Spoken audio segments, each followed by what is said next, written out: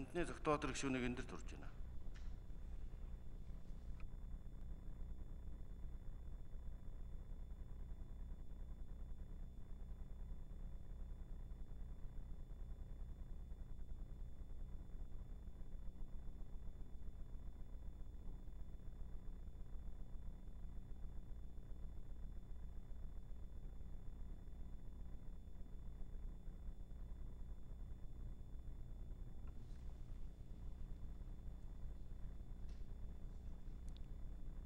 Тань сая ассан.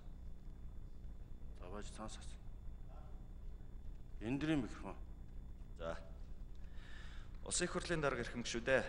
Монгол Улсын ерөнхийлөгчийн тухай хуулийн 14-р зүйлийн 3, дипломат албаны тухай хуулийн 16-р зүйлийн 16-гийн 1 дэх хэсэг заасныг тус тус үндэслэн Монгол улсаас Америкийн нэгдсэн улс цугаа онц бөгөөд бүрэн эрх дэлчин сайд Яндангийн отгон баярыг Игүүлэн татах саналыг Монгол Улсын ерөнхийлөгчөөс 2021 оны 3 дугаар сарын 5-ны өдөр зөвшөлдсөөр ирүүлсэнийг Монгол Улсын их хурлын чуулганы хуралдааны дэгийн тухай хуулийн 106 дугаар зүйлийн 106-гийн 1 дэх хэсгийг үндэслэн аюулгүй байдал гадаад удалгын байнгын ороо 2021 оны 3 дугаар сарын 12-ны өдрийн хуралдаанаараа хилцлээ.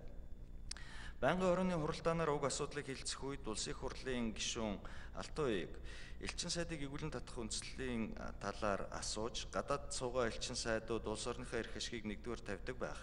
Улсын хурлын гишүүн Бат Эрдэнэ төрийн болон төрийн тусгай чиг үүрэг гүйцэтгэж байгаа албан хаагчид нийгмийн сүлжээнд мэдээлэл тавих асуудлыг зохицуулсан хууль эрх зүйн зохицуулт байгаа эсэх гадаад томилогдсон дипломат ажилтнуудын ажил үүрэг гүйцэтгэж байгаа байдал хариуцлагын асуудалд үнэлэлт өгнөлт өгдөг тогтолцоо байдаг хэсэг талаар.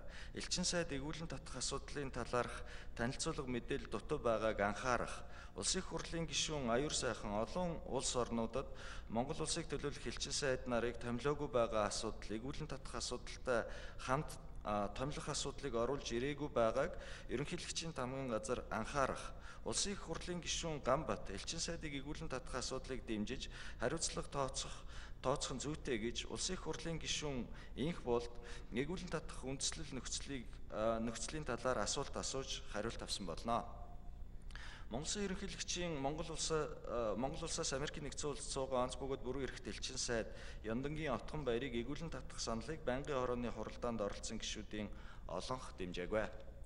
Улсын их хурлын эрхэм гишүүдээ Монгол Улсын ерөнхийлөгчөөс Монгол улсаас Америкийн нэгдсэн улс цуугаа онц бөгөөд бүрэн эрхт элчин сайдыг эгүүлэн татах тухай зөвшөлдсөхөөр эрүүлсэн саналыг хилцсэн талаарх аюулгүй байдал гадаад бодлогын байнгын хорооны санал дүгнэлтийг хилцэн шийдвэрлэж өгөхийг та бүхнээс хүсье.